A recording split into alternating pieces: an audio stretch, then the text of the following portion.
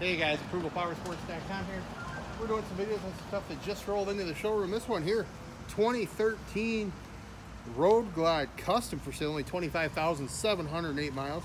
Super clean bike, black denim paint, over 3,000 extras on this guy. Speakers in the saddlebags.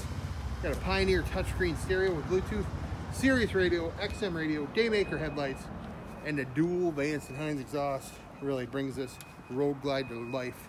Give us a call, only 10999